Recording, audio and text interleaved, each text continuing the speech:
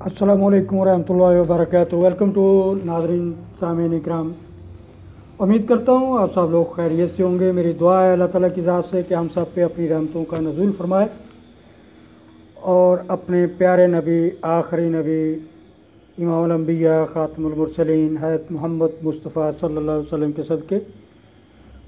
हम सब पे, हमारे घरों पे, हमारे माशरे पे, मुल्क पे पूरी दुनिया पे रहमतों का नजूल फरमाए, हमारे गुनाहों से दरगुजर अफू फरमाए। तो नाजरीन कराम इसके साथ ही गुजारिश करूँगा कि मेरे चैनल को यूट्यूब पे आबद एडवोकेट हाई कोर्ट के नाम से है उसको सब्सक्राइब, लाइक, व्यू और शेयर करें। ये एक कानूनी चैनल है इंफॉर्मेशन पहुँचा रहा है, फ्री ऑफ़ कास्ट है। आप तक कानूनी मालूमात जो हैं, जो हमारे रोज़मर्रा ज़िंदगी में काम आती हैं, वो आप तक पहुँचाई जाती हैं। तो नाजरीन, आज का मेरा जो टॉपिक है, वो है कि फ़र्क क्या है रिटर्न में और रिजेक्शन में, सिविल प्रोसीजरल कोड के तहत। उसमें ये है कि रिटर्न ऑफ़ प्लेंट जो हमारी दरख्वास्त है, जब हम दायर करते हैं, अदालत में दाद रसी के लिए, वो ऑर्डर सेवन रूल टेन के तहत सिविल प्रोसीजर कोड में फाल करती है, उसमें हमें रहनमई मिलती है। और रिजेक्शन जो है, उसी हमारी प्लेंट की दरख्वास्त की जो रिजेक्शन है, वो ऑर्डर सेवन रूल अलेवन यानी रूल ग्यारह। सिविल प्रोसीजर कोड सीपीसी जिसको बोलते हैं आप, आसान शार्ट लफ्ज़ों में, उसके तहत रहनमाई मिलती है। तो फ़र्क इन दोनों में ये है ग्राउंड्स यानी वजूहत होती हैं।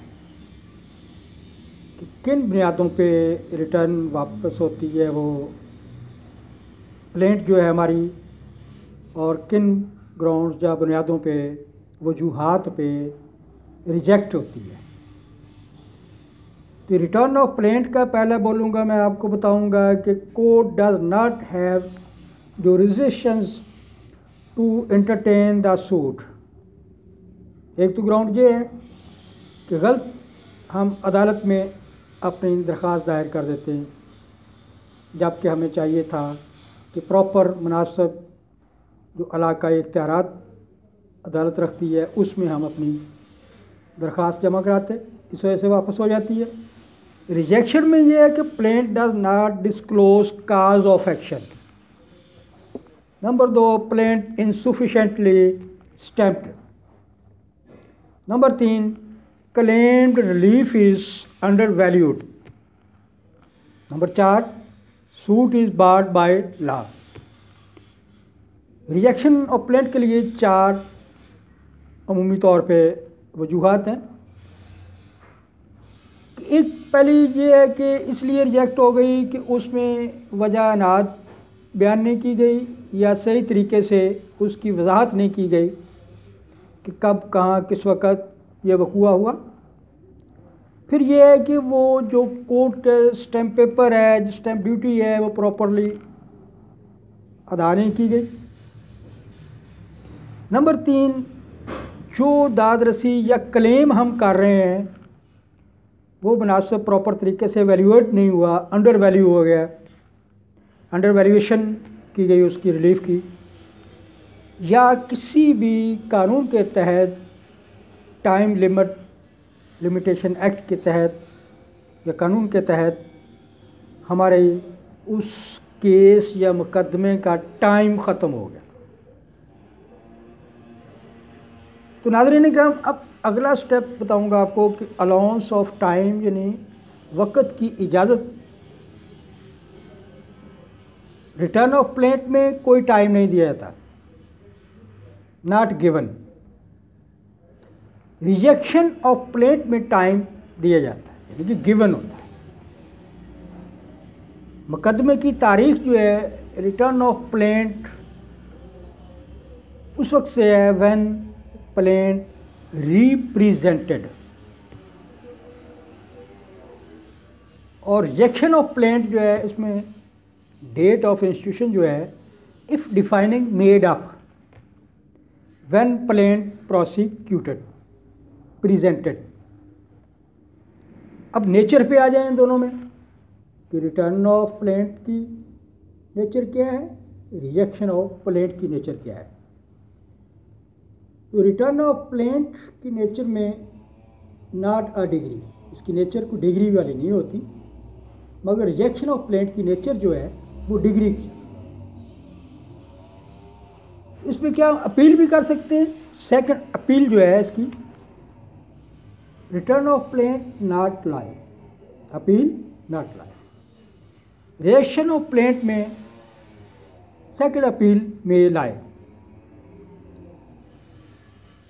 इसकी एग्जास्टिवनेस एग्जास्टिवनेस जिसको बोलते हैं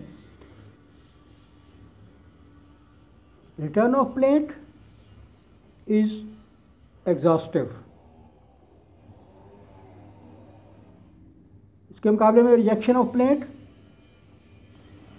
is not exhaustive and court में reject a plaint on any other ground not given in order seven rule eleven यानी रिजेक्शन ऑफ़ प्लेंट की एग्जास्टिवनेस जो है, वो कोर्ट जो है, वो जो ऑर्डर सेवन और अलेवन में ग्राउंड्स बयान की गई हैं, उसे हट के भी किसी ग्राउंड पे रिजेक्ट कर सकती है। तो ये है फ़र्क return of plaint and rejection of plaint का। दोबारा बताऊँगा रिटर्न ऑफ़ प्लेंट इसकी हमें रहनमाई मिलती है ऑर्डर सेवन रूल टेन में। और जो रिजेक्शन ऑफ़ प्लेंट है, उसकी रहनमाई हमें मिलती है ऑर्डर सेवन रूल अलेवन में। अपना ख्याल रखिएगा। लास्ट में फिर रिक्वेस्ट करता हूँ मेरे चैनल की। प्लीज़ उसको सब्सक्राइब करें व्यू लाइक और शेयर करें ताकि मैक्सिमम दोस्त, अहबाब तक ये कानूनी इंफॉर्मेशन स्टूडेंट्स तालब इलम जो कानून के हैं उन तक पहुँच सकें। अपना ख्याल रखिएगा। थैंक यू वेरी मच अल्लाह हाफिज़।